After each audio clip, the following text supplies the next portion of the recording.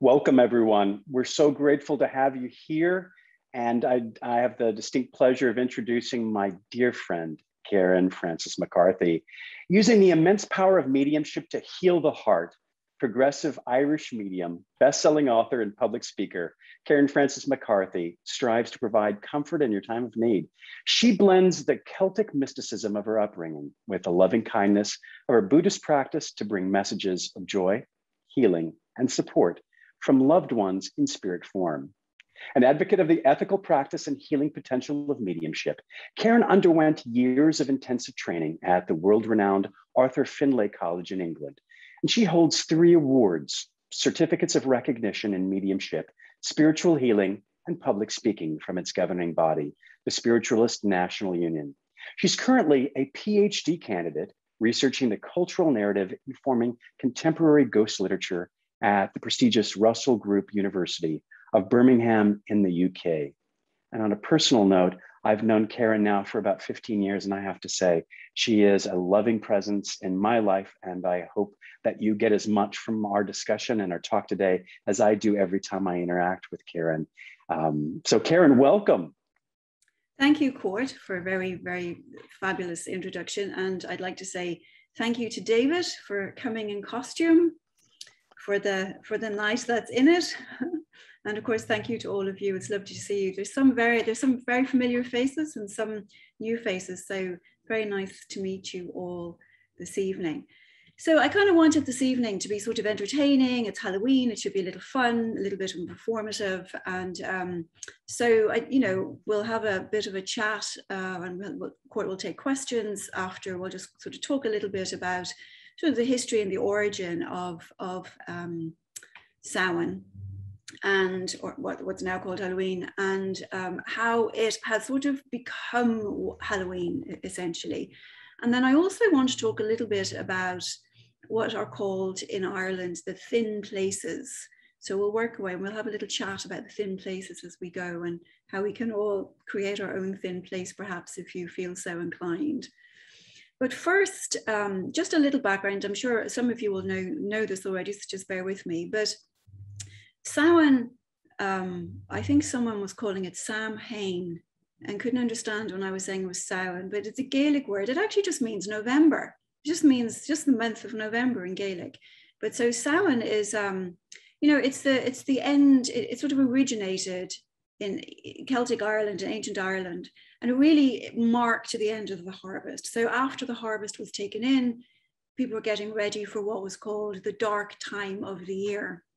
And so, of course, as with everything folkloric, when you're heading into the dark time of the year, lots and lots of stories and traditions and rituals are inevitably going to rise up around it. So, what has typically happened with Samhain, because we were going from harvest and then going into the dark time of the year, it essentially was perceived as it was the time of the year when the year was dying. The light was dying, the year was dying, nothing could grow. And so it became, you know, in folklore, associated then with all things death, dying, ghosts, whatnot, all of this sort of naturally just sort of arose out of these folklore beliefs. Now, what I would like to do is, you know, just give you a little bit of the actual real story of the history of it, which is kind of interesting, but near, not nearly as interesting as the spooky parts of, of Samhain. But I mean, originally, um, the first mention of it actually is from 9th century Irish literature. It was, it was mentioned as a pagan festival um, in a spiritual tradition. Really, as I said, it came out of the harvest tradition because the Celts of the time were, were just um, agriculturists and had herds and planted fields. So as they started moving into the dark time of the year, a three day festival was had starting on the 31st of October. Now we know what's happened to the other two days, been appropriated by the church, but these traditions have still remained around the 31st of October. And what would happen was while everybody in all of the villages were out clearing their fields, though were no fires lit at home. And so what would happen when the harvest was finally in, the local druid would you know build they would have a huge bonfire and the local druid would preside over this bonfire and it was really just a ritual and gratitude for the harvest and whatnot. The cattle poor things were sacrificed. And then after this this sort of ritual around the bonfire this gathering around the bonfire this celebration everybody would take a little bit of the flame home to light their hearth that hadn't been lit for the whole duration of um, the harvest. Now, in one of the thin places in Ireland, and I'll get onto the thin places later, is Tara, the hill of Tara. And the hill of Tara, I have a picture of it actually. Hang on, let me show you this. But, well, area of this is Tara from the air. This is the seat of the High Kings of Ireland. There's a little prison over there I'll show you that's still standing since for like 3,000 years, but we'll get to that in a moment. And the High Kings used to, this is where this is where their, their they lived. There were forts built on these hills. Um, and so what happened was the high kings would call all of their subordinates, all of the, the, the chieftains, the local kings or the chieftains, they would call everybody up for a feast at Tara every seventh Samhain. And that's where they would devise all the new laws, all the new rules, and dole out all of the punishment for all of the people that um, didn't sort of stick to them. And then, of course, what started happening obviously was that um, over time and into the Middle Ages, instead of having the one massive bonfire and everybody showing up at Tara to be sort of told what the new rules were or punished for transgressions, people just started building the little bonfires locally, which we still do today. You know, they would just, each little village would build its own bonfire and everybody would gather around it after the harvest. Now, of course, you put a whole bunch of people together around a bonfire as the year is considered to be dying, you know what's going to happen. There's going to be loads and loads of scary stories told. Um, there's, especially in Ireland, there are going to be all of the stories of the Sidhe. Now, the Sidhe, and I know Denise knows this because Denise Hartigan there is from Ireland, the Sidhe are what are today known as the fairies. But it's very important not to be beguiled by these because the Sidhe were originally gods. They were known as the, the, the Tuatha Danann, the, the people of the Danann. Um, the short name for them is the Sidhe, S-I, Fada. I don't know what a Fada is in, you know, just a dash over the I. And um, they were could always be relied on for sort of mischief and mayhem and a lot of good stories. And so, of course, as people were gathering around these bonfires, it became the Sidhe, of course, to get invoked for everything. I mean, the banshee, you probably a lot of you have heard of banshees. The banshee is just means, ban means woman, and Sidhe means the Sidhe, the gods, the, the fairies or the, the ancient gods. The banshee is just that. I mean, I remember growing up and swearing as a kid. I could hear the banshee screaming outside the bedroom window. I was terrified because they used to tell you if you hear the banshee screaming, don't look at her because she's going to be out there combing her hair with a golden comb. And if she sees you looking at her, she's going to throw that comb at you and kill you. So you were never supposed to look at the, the banshees. And I do remember one time being so terrified, I was only about six, being so terrified at the, the screaming of the banshee outside the window that I went into my parents' room and I woke them up and I said, the banshee outside. And my father came out and came into my room to look out the window. And I was like, don't look out the window. I was so terrified the banshee would throw her comb at my father and kill him, you know. So of course, 10 years later, I learned that the banshees are actually were cats screeching outside the window. But this is how these things this is how these things evolve in the dark, as you know. So um, the interesting thing about the Sidhe was they were are the the ancient gods are very very powerful giants. They became the Sidhe, they became the fairies in order for the pagan Celts to reconcile their old beliefs in the old gods with Christianity when Christianity arrived. And since then, Hollywood has made them into these cute little things with wings. But these were these were gods you never ever ever wanted to mess with. Now, the king of the Sidhe was the Dad, the Dagda. Right? And strangely enough, they were considered, um, he was considered like the, the god of fertility, agriculture, strength, druidry, wisdom. And so the Sidhe were all very well when they were in their land, which was called the Tir na nÓg. Now, Tir na nÓg means in Gaelic, the land of the youth. There's lots and lots of stories about people going to Tir na nÓg when and they think they're there for for a night and when they come back 100 years has passed on earth and then all sorts of like things befall them when they when that happens. But there this the Tír na nÓg is sort of outside time but it's also a fairly place of plenty until the Sidhe cross over into the world of the living which they do through the thin places which I'll get onto in a minute. So of course on Samhain prime time. This was prime Sidhe time. So there are forts, let me show this again.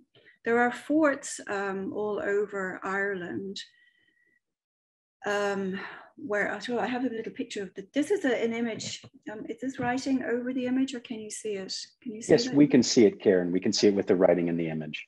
Um, so this is just an old, this is an old cauldron that's, that was being made, I think, in the second century AD. And this is a, an imprint of the Dag, the Dagda. He's the king of the Tuatha Dé Danann.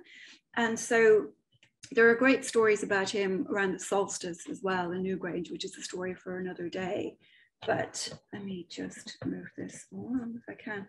That is actually the fairy mound at the hill of Tara. Now, the fairy mounds, which some of you have probably heard of, the fairy mounds of the fairy hills, these are the gateways through which the Sidhe could leave Tír na nÓg and enter the, enter the, come into the earth, enter the land of the living. This one is still at Tara. It still looks like that. And it was apparently used, the High King would put people in there as prisoners, but it's actually a, considered a fairy mound.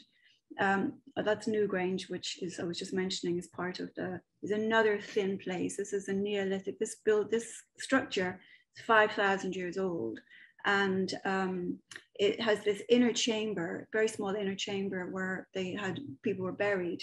Um, and it's dark all year round, except for sunrise on the winter solstice, when the sun aligns with the little box over the entrance and floods the whole inner chamber with light.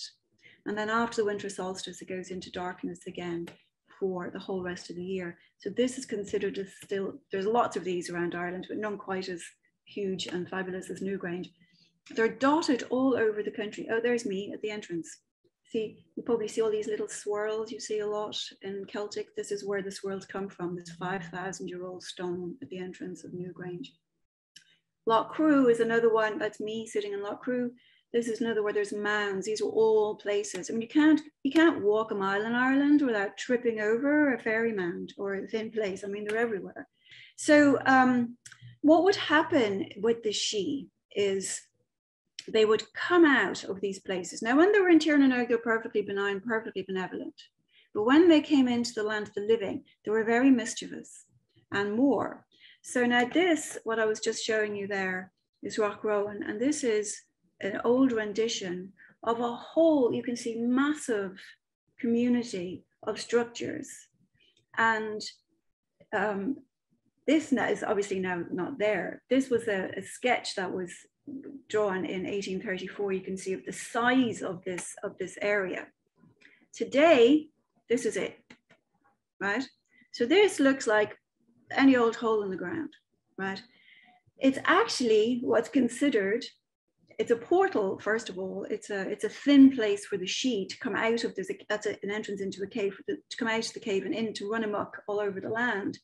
Now, when the monks came along, the Christian monks came along in like four or 500 AD, and um, they decided this is the gateway to hell. And so this fairly innocuous little hole in the ground in the west of Ireland in County Roscommon is now, as you know, the gateway to hell. Now, as you can see from a lot of stuff that's full, that's just sort of hanging around the countryside everywhere in Ireland, you could there's no there's no one selling t-shirts. You know, there's no sort of signs on that. You can just go along, wander around the countryside and fall into these things. So you have to be very careful. We'll get to that in the end. This is called Oweynagat, which is the Cave of the Cats. It's called the Cave of the Cats. Funnily enough, I was just talking about cats, but as I said, the monks called it the gateway to hell. Now inside, it's a 50 meter long limestone cave that just goes for, for and it's quite tall and it's been cut out. Now, what happens when you get into this cave is it's completely dark. Your eyes never adjust, your senses never adjust. And there's just this feeling of not being able to see or smell or hear. And there's just this very disorientating feeling of being in this timeless space in the pitch dark you know, and it just keeps going down and down, down into the bowels of the earth, which is probably why so much of the mythology has sprung up around it. Now, any of you ever want to go to Ireland, you're welcome to go to this place. You can go into it. You don't need tickets. It's not like Newgrange. You can just kind of wander along if you find it in the field. You're welcome to go in. I'll give you some tips on what to do if you decide to do that a little later. So the the um, the cave of the cats is um, was tip- was known to be the home of Maeve, the queen of Connacht. Now, in Celtic mythology, the women were very powerful, you know, and so she was Maeve, the queen of Connacht. Um, her name is actually inscribed in the old Irish script on the entrance to this cave. But also, it was associated with the Morrigan. Now, the Morrigan was the goddess of war very duplicitous person. She could lead soldiers into victory or defeat, depending on how they, they treated her. I got some pictures, there's a couple of pictures of sketches that people have done of the Morrigan. She was a shapeshifter. She could become a crow, which is why, and actually they say, can you hear, can you hear me? I froze, yeah. They say that the Morrigan, said that the Morrigan was probably an influence on um, the raven, Poe's the raven, scary creature that that was. So she could fly around, shapeshift, fly around like a crow, which so you need to be mindful if you see crows when you go to the thin places as well, that it could be the Morrigan and you really didn't want to mess with her. Now, what would happen from this very innocuous little entrance, like all of the thin places around Ireland, is the Sidhe could come out. Now, the Sidhe could come out, and of course, what do they do? First thing they would try to do is go steal your soul. They would try to steal the children, which is why W.B. Yeats wrote the poem, The Stolen Child, Come Away, O Human Child, to the waters and the wild, with a fairy hand in hand, which sounds beautifully lyrical, but really what's going on is the Sidhe come out, they steal the children, they go back into Tír na nÓg, and that children are gone. You know, what, uh, what even more nefarious creatures could come out of there. You'd have uh, you know, three-headed devils. You could have animals reportedly whose breath was so foul that once they breathed, all of the plants everywhere, all of the life around them would just die, wither and die. The leaves would wither off the trees. Pestilence would cover the land. Of course, this is the sorts of things that you run into if you start messing around with these at these thin places, you know. Um, the other things that would happen is the slua, were not to be messed with at all, the na Marbh, the host of the dead would come along and they would come in through windows, especially the windows of houses where somebody was dying, and they would steal away the dying person's soul before they could have their last rites. So these weren't to be messed with at all.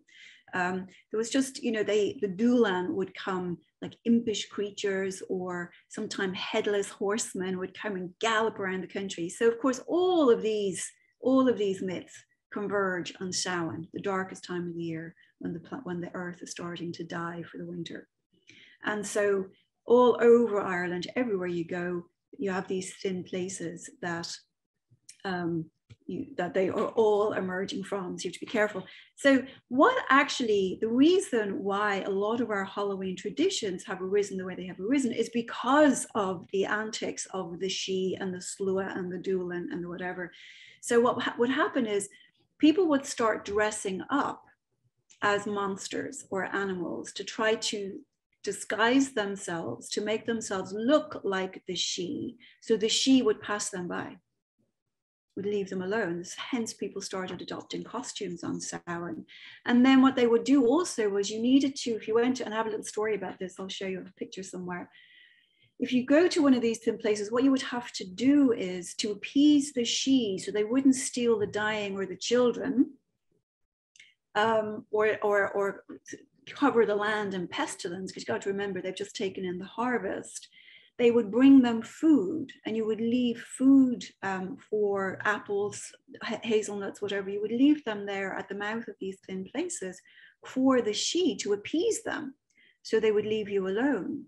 And what started happening was people would start going door to door to collect apples and hazelnuts and foods you know, to leave for the Sídhe, which is why we still go around the doors collecting nuts and apples and whatnot. These are all, you know, these days we eat them, but really we're supposed to leave them out for the Sídhe so they don't come steal your soul. So the next time you decide to eat the candy you picked, you collected out the door, remember, you actually have to leave some of it out for the Sídhe, or they might come in the window because they have a tendency to do that.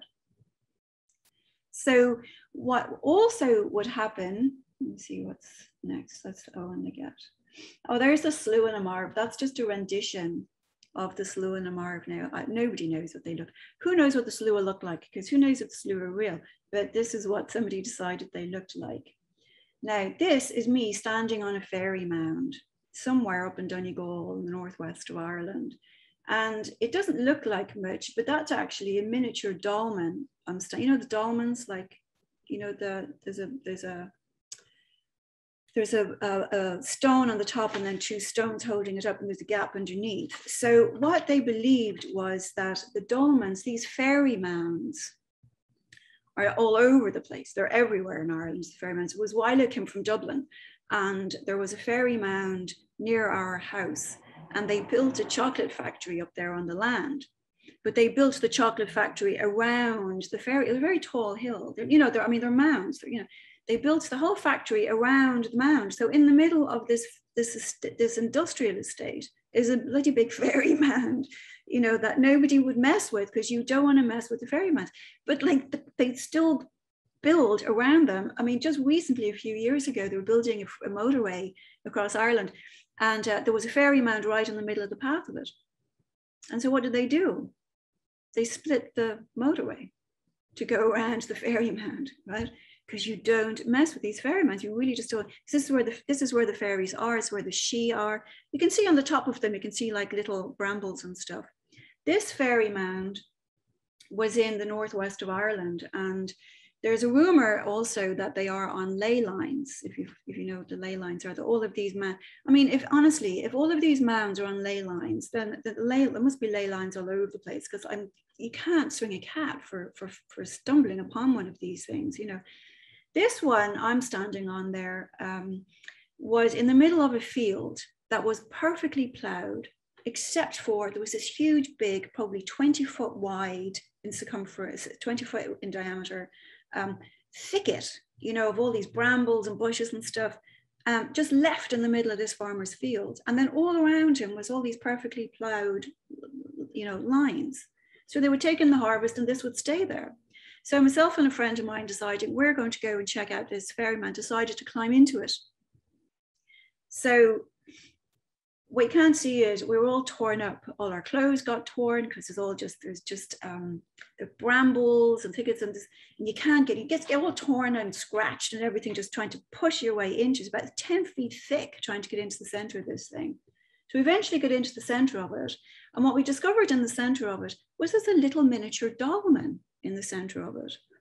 So we had been told, oh, there's an energy point from these dolmens. So we decided, well, I'm going to stand on it and see if I can feel any energy, right? So two of us tried it out. Well, what we did first was we threw pennies under into the hole in the dolmen because you have to appease the Sidhe first before you stand on the dolmen. So we threw a bunch of pennies, copper pennies, in under the, the rock and then stood on top of it and stood there for a while in the freezing cold trying to go can you feel any energy? Can you feel any energy? And then we decided we couldn't. And then we fought our way back out, and all our clothes were all torn and we were all scratched up. And when I got back in my car, in the car, the phone I had that was almost dead had charged. You know, so the phone felt the energy even if I didn't. So you know but if you do decide to beat your way through the thicket and the brush to get to into a fairy mound make sure you throw something you bring them something to leave there for them or they won't they'll follow you home as though they say. So it was all also i'll get rid of that so don't have to look at me standing on that fairy mound um, the other thing that is quite um, was it part of the druidic tradition of course around um, Samhain is um, that the ancestors. So it's not just the Sidhe, it's not just the Slua na Marbh. The ancestors can also come back to visit. I know this comes up in a lot of different traditions across the world in Dia de los Muertos, in India, in, in, you know, there's a lot of traditions where the dead come. And of course, it comes on this day because this day being the cusp of the living world to the dying world becomes naturally in folklore the day of the gateway where the where every where the thin places are even thinner. And because those thin places are even thinner the ancestors can now pass through the thin places and come to visit which is why you know, people would light the fire to welcome. They leave windows open to welcome them. Now you have to be very good to leave a window open because you don't want to risk having a slew and the marv coming in the window at you. But if you've been good, if you've done your gifts, if you've left your gifts out for the Sidhe, you can open the windows because your ancestors can come in the window to join you. And so what happened, this is where a lot of the Halloween traditions came about. You know, children playing games to entertain the ancestors. Well, they still play the games to, you know, the apple bobbing and stuff. I do want to say that on those things like apple bobbing and playing with and the and the, the the nutcrackers. I don't know all the traditions you do in America, but they did originate in Ireland. Um, they come from collecting the food door to door, right? But then, of course, became they became divination tools. You start putting the apples in the water to try to divine, you know, when you were going to get married, or all of you know all of these sorts of things that they would do. They started using them as divination tools. Um, but you know, the, then the this is where apple bobbing. Do you do apple bobbing in America? Um, we do apple bobbing. Oh, yes. This is where, yeah, this is where this comes from. It's collecting the fruits to appease the Sidhe and then leaving them out with the ancestors and then the kids getting hold of them and making games out of them or people getting hold of them to see when they'd find their husband or whatnot. And this is where a lot of these traditions come from. So the thin places, as I mentioned, on, on Samhain, the thin places become even thinner. And so if you go to a thin place on Samhain, whether you have the ability in any other time of the year to recognize and receive and meet your ancestors, it's said going to a thin place on Samhain, you can actually then, you are so close to the other world, you can actually sense your ancestors. Now, before I just finish up with this, I do want to say that, um, you know, ultimately, um, as you know, Christianity came along two of the three celebration days became All Saints' Day and All Souls' Day. But the pagan traditions remained, despite the attempt of Christianity to sort of um, plop a new holiday onto it. And of course, then um, when the all when the Irish started leaving Ireland in the mid 1800s and coming to America, they brought all of these traditions with them. And so it became also when the well, sorry, when the church added on um, plopped All Souls Day and All Saints Day onto the other two days of the of the Samhain celebration, it became known as All Hallows Eve. So the 31st became known as the Hallows, where the hallowed people, the hallowed saints were All Saints Day. So it became known as All Hallows Eve or Halloween, Halloween evening. Um, and that's how we've kind of come. And that's the name that got transported to America, which is why it's more commonly known as, as Halloween there. But um, they, they do say that if you do go to a thin place, now you do need to, you probably will have to go to Ireland to find a thin place, but you can probably Google, honestly, at this point, you could find them on Google Maps. Um, you, you won't have to go very far to find a thin place in Ireland, that's for certain. But if you do go, you have to remember that um, you have to uh, honor the Sidhe. So if you do go, make sure that you um, a go in costume so the Sidhe can will think you're a Sidhe right? And not try to kidnap you steal your stone drag you into the cave.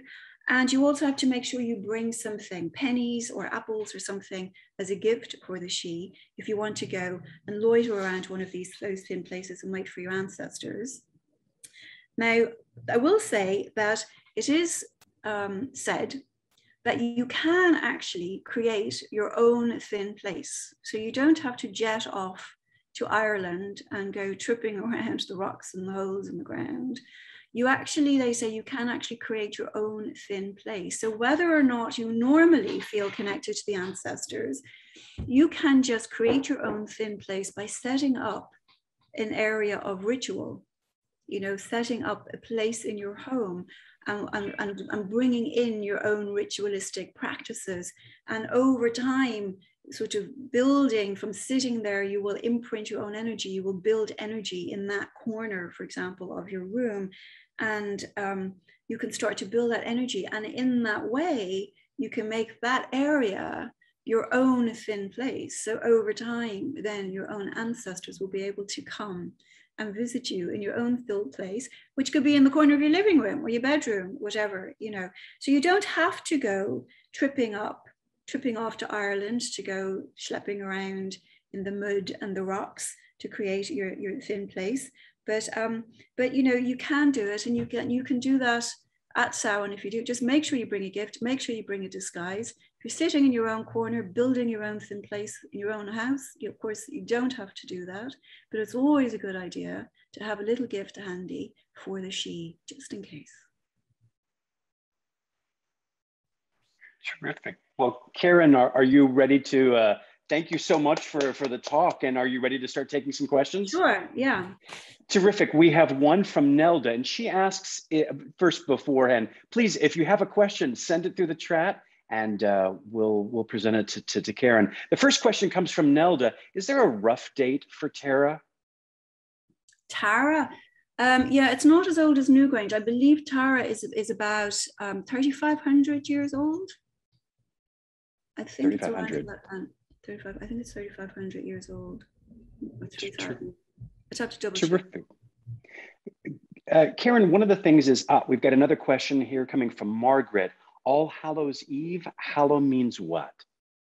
Hallowed. All hallowed, hallowed saints, you know, it's like um, the honored. Hallow is to um, you know, is to honor. So the saints would be these beatified people that we should all bend down and worship. So we ha- they're hallowed individuals. Do you, does that make sense? So we have, you know, and so it's the evening of the hallowing, uh, really of of if I can say it that way, of the um, saints. Terrific, Karen. You talked about you talked about the thin places and it's at times it sounds like it is a location at times it sounds like it is a time. What do you think it, first do you think that there are times when the veil is thinner or is this part of just a, a cultural um, uh, a, a tradition?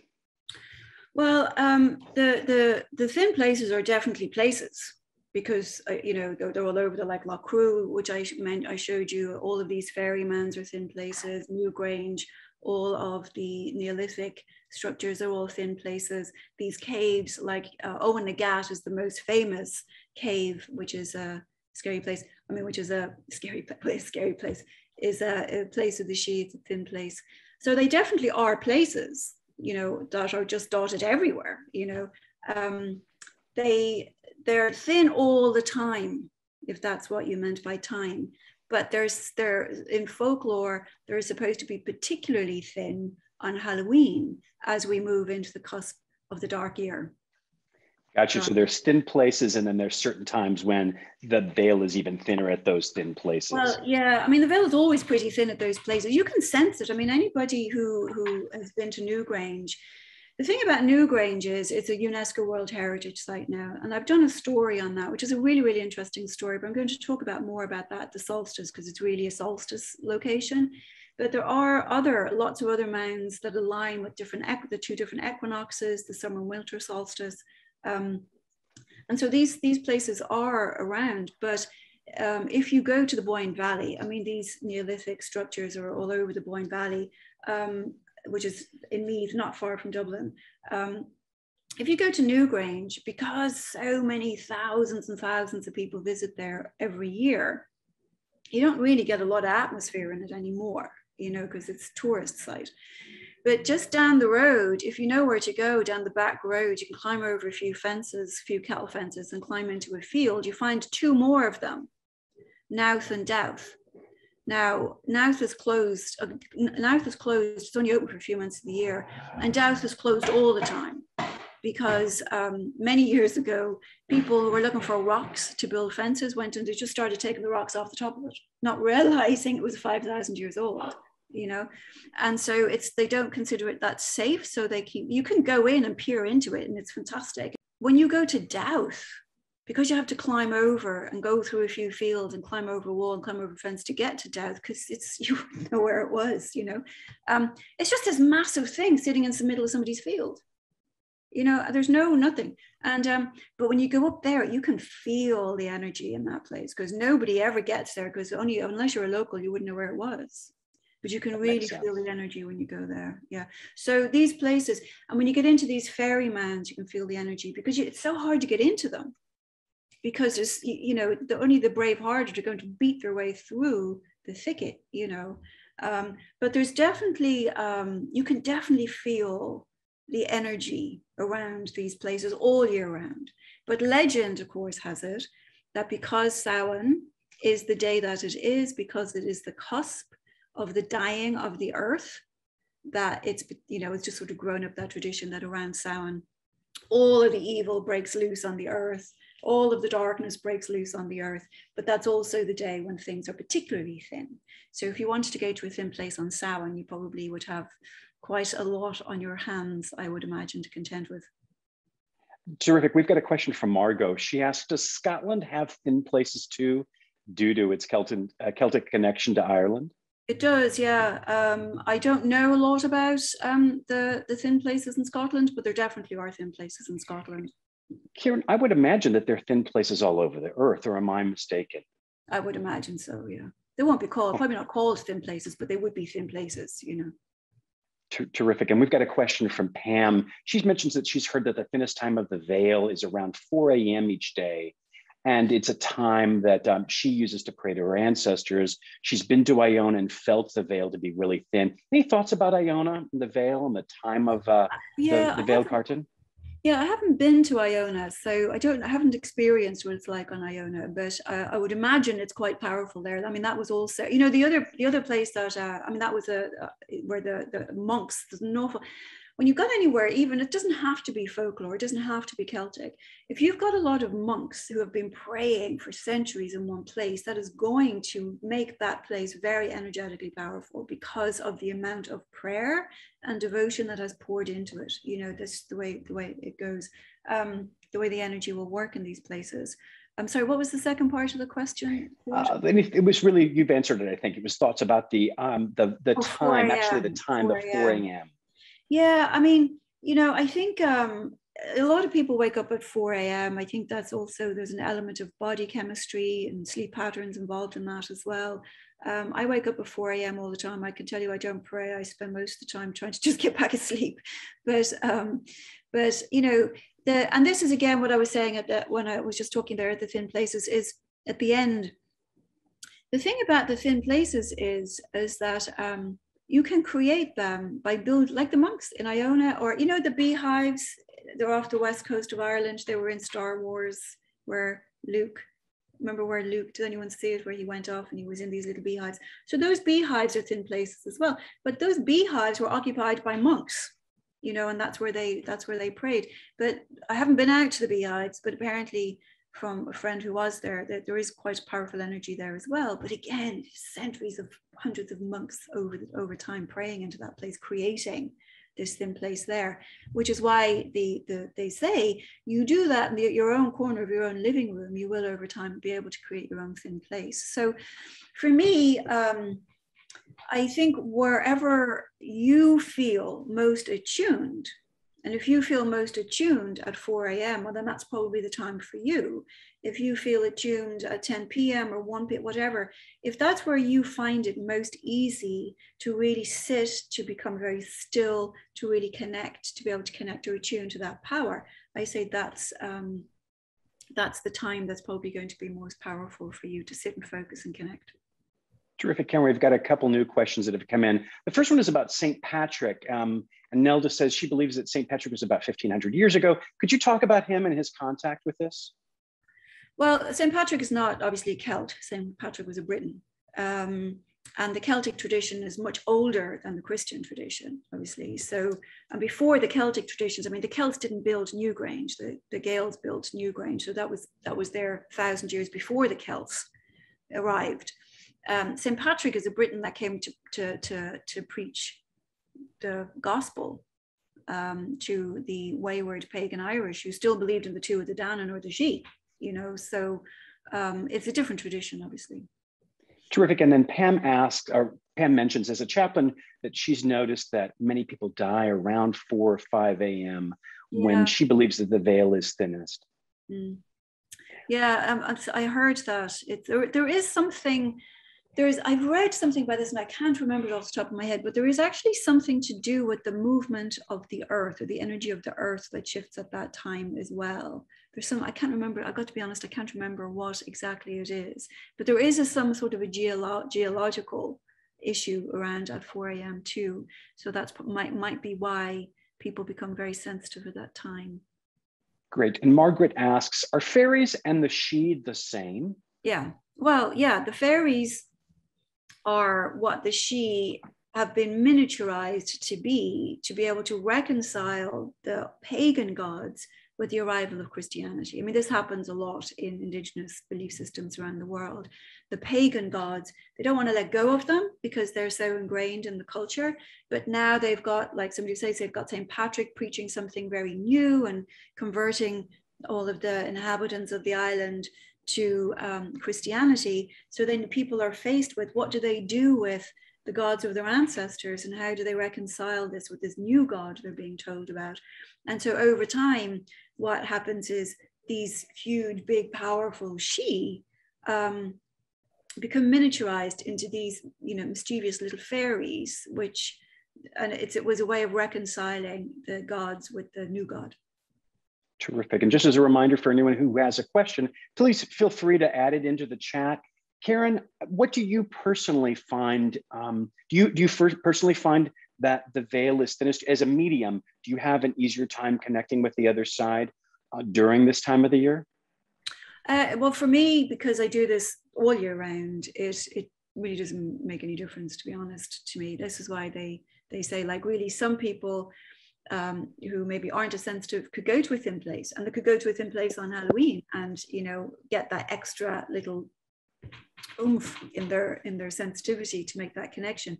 And then you know some people um, don't have to go to a thin place. They can create their own thin place or you know for me um, I, I don't find it really makes that much of a difference what I do find makes a difference is um, how present I am in myself and how connected I am in myself all day on a daily basis, just in life in general. And I find that um, if I'm in that place that we need to be in, that's sort of state of attunement, uh, and if I can hold that space and sort of live from that space, then it doesn't really matter when or where the communication needs to happen. But I, I think that probably, and this is just an opinion, a lot of the reason why um, the, these thin places have become sort of these, these places to gather for this type of thing is because the energy there is already so strong. It can help you raise your own energy for that kind of state of attunement to happen. So if you can't do that naturally yourself, you can just go there and then benefit from the energy that's being shared with you from the place. So it sounds like you're saying that it's basically an internal job, and if this if the actual location makes you feel internally more connected, then it's useful, and you can also create that.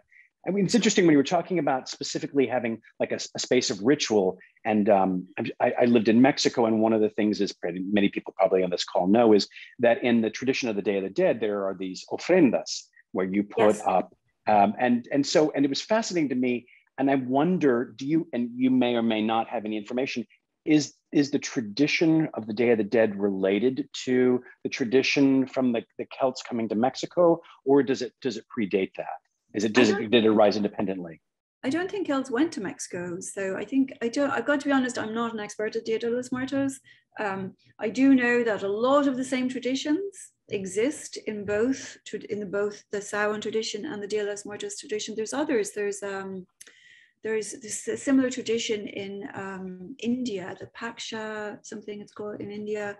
Um, there's a there's a few different traditions, incredibly similar.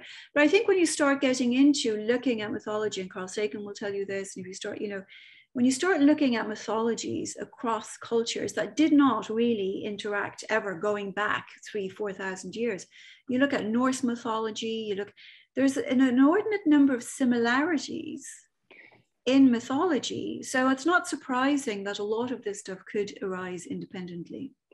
and that's what I kind of suspected it was independent. Although um, it's interesting, there are uh, there there has been a presence of the Irish in Mexico, and in fact, one little interesting fact is during the Mexican American War, there was the uh, St. Patrick's Battalion that in the middle of the war thought, wait a minute, why are we fighting against the other Catholics? Switch sides during the war and became an Irish um, Irish fighting on the side of the Mexicans and uh, are, are, quite famous. Yeah, so so that so the Irish have been in, in Mexico, but I suspect that you're right, as Joseph Campbell would say, is that they, these these things because they are universal truths sort of arose independently. We have a comment from Leslie. Leslie says a synchronicity from Eastern medicine regarding 4 a.m. in the 24-hour cycle of the energy system throughout the body. It's the lung, the lung energy that begins at 4 a.m. and is stronger between 4 to 6 a.m. The energies of the various primary organs continuing moving one to the next throughout the 24 hours. So that's um, that's a very interesting fact, and thank you for sharing that with us, Leslie. We have Leslie. Yep. If there, sorry, I think Leslie. I'm not sure, but I think it's also connected to something to do with the energy of the earth as well. If I think it is, I don't know. Maybe somebody can tell me if they know. I thought I came across that at some point. There was a little bit know, more. I know the, the earth, if yep. I, when I wake up at 4 a.m. in the morning, if the earth does feel different than it um, does at other times. Leslie mentions that the yogis of India awaken at 4 a.m. in order to practice their um, mm. um, pranayam, which is their system of breathing exercises. There's more than this that fits into our time tonight. Thank you for the Irish lineage and culture, she says. And then Leslie mentions metal Pam says earth and lung, perfect chance to engage or let go. I love 4 a.m. So there seems to be um, quite a lot of interest in the 4 a.m. time. Mm-hmm. Karen, if you had um, any ref, any suggestions on how if people wanted to learn more about Samhain or about the, uh, the, the, do you have any place that they might be able to turn to? Oh, to, to learn more about Samhain, I mean, you can, you can, um, I mean, the Samhain, I think really it's it's more learning about the fairy folk, maybe, or learning more about the Sidhe is probably what's interesting about Samhain as well. Um, I mean, W.B. Yeats has done a great, beautiful collection of the fairy folk of Ireland. He did a lot of work on, on collecting all of those old stories, and I have the book somewhere. I think it's I think it's called the fairy folk of. It's a W.B. Yeats did it anyway, so you know, so that's a really interesting book um, on all of these old old traditions and old beliefs and all, surrounding the fairies and the Sidhe and whatnot. Um, the thin places, um, I'm really I, I, love the thin places because that's sort of part archaeology and it's it's really sort of how ancient cultures you know interpreted all of the the sort of scary events and scary things of you know i mean if you go back even further to prehistoric man i mean he was coming up with gods for thunder you know so you know, we have as human beings through the ages have had a tendency to sort of personify things that scare us. And so um, the thin, but the thin places, what I love about the thin places is that you can actually view them in that old, great, really interesting folkloric sort of way of, of the myth and the fairies and the stories. And the, there's all sorts of great mythological cycles. And, you know, there's, when you start getting into the Sidhe it's fascinating history because to be honest, you start reading about the Sidhe and they start sounding actually, to be honest, I'm going to sound like nitty, but they sound actually like aliens because um, there is like Lugh was one that was the first king of the Sidhe, god of the Sidhe, and and Lugh is the light, means light, and Lugh was a light that came out of the sky, and he would take people away with him. And if he took people away with him, they would spend a night with like there was one woman he was taken away, spent a night with Lugh, and when and then came back and people were all dead you know because so much time had passed by on the earth there's another story of um um oh no, I can't his name has just gone out of my head. It'll come back. Um of a of um a, a guy who went off into the light with the Sidhe. and when he and then he decided no he wants to come back to his home. And they said whatever you do don't get off your horse. Don't touch the land you know? And so um, he's going along, and next thing he's staying on his horse. And but what happened when he came back was hundred years had passed, and everybody he had known was dead. And so he somebody is trying to move a rock and he tries to help them with his horse and the strap breaks and he falls and he hits the land. And as soon as he hits the land, he, he just dissolves, he just dissolves and just dissolves to dust. So there's all these sort of strange references to light gods of light coming out of the sky to people going into this light to coming back and you know they stay for a day they come back 100 years has passed there's all these sorts of strange ways of interpreting what was going on with these people that I often wondered if the Tuatha Dé Danann were actually alien visitors, because so much of it is what we know about that literature today, you know. But they were considered the gods, they were all powerful, all knowing, very wise. And, um, and as I said, as Christianity came along, there are actually stories in some of the mythological cycles where humans and Sidhe are living side by side. So I don't, they didn't just disappear overnight. It seems like they just became absorbed into the new belief system and new culture of the country. That's fascinating. Mm. Um, Leslie had mentioned that metal is lungs element, earth is the element of stomach and spleen energies, just to explain something that she did earlier. This is a, this is a bit of a maybe it's a non sequitur or maybe it's not. But Karen, you are you are a storyteller. You were embedded with the troops in Iraq. You were a, a journalist as as well as a medium. And there seems to be this this tradition of of what. And you mentioned Yeats earlier of wonderful storytellers coming from from the Celtic and from the Irish traditions. Why do you think that is? I think it's imagination. You know, I think that the Celts have this fabulous imagination. They were beautiful artists, as you know. I mean, and the Celts, there were Gaels in Ireland before the arrival of the Celts. I mean, the Celts came across from Indo-European and they, they kind of came in into, but, but there were Gaels in Ireland long before the Celts. Um, but the Celts themselves are very artistic um, culture. I mean, there's beautiful um, silverware and metalwork and all this sort of left by the by the Celts. But you can see from like Newgrange that even the Gaels that preceded the Celts were doing these beautiful carvings. I mean, when you walk inside, um, when you walk inside the passage in Newgrange, you want to see the carvings that are on the. Actually, I say this, you probably none of you will appreciate this. Somebody went in one time called Disney and scratched into the wall Disney 1837. Oh. That scratched into the middle, into the wall inside the chamber of a 5,000 year old Neolithic site. But, but aside from Disney, Mr. Disney, the rest of it is all these beautiful carvings and, you know, stonework. Um, the, the, when, you know, when we started having to contend with the British, then as things went on, um, it, you know, the British used to say that the that the Irish were these sort of like these childlike, had this childlike imagination because the Brits were very, you know, Protestant and very Calvinistic, and you know, and, and, and the Irish meanwhile were still just by their nature still quite quite creative and quite artistic and quite imaginative, um, and I think that's probably why um, part of the reason why. Um, but but storytelling in particular, I think it's they say the Irish have the gift of the gab. There's something about storytelling in particular. I mean, we've got beauty, we've got fantastic music comes out of Germany, fantastic art comes out of Italy and whatnot. But great stories come out of Ireland, and there's just something about the storytelling tradition that's very very very old in Ireland that I think is still still there in the genes somewhere. We've got a couple more questions. I know we're starting to run out of time. Laura asks, if you were going to tell a child about thin places, what or how would you say it, or would you? Well, I mean, you know, I grew up with the thin places, like I was saying earlier with the banshee, you know, it's just part and parcel of it. I mean, you leave your teeth. Why do you leave your teeth under the pillow? So the fairies will take your teeth and leave you money, right? That's the Sidhe.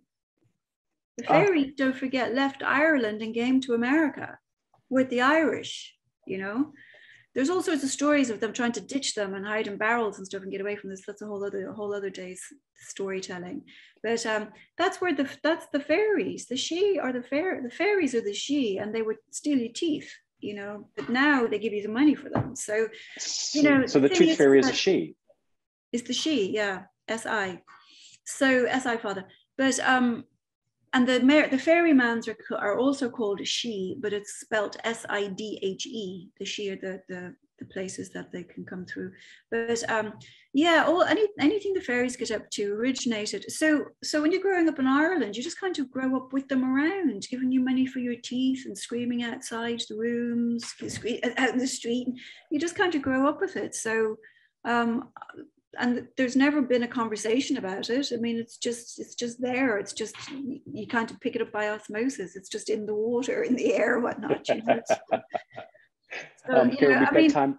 Yeah, if you're if you're trying to tell people about the Sidhe you you just tell them about the fairies. I mean, the kids already know about fairies, so you know, I don't I I don't know. I don't know if that even answers your question, Leslie, whoever answered the question.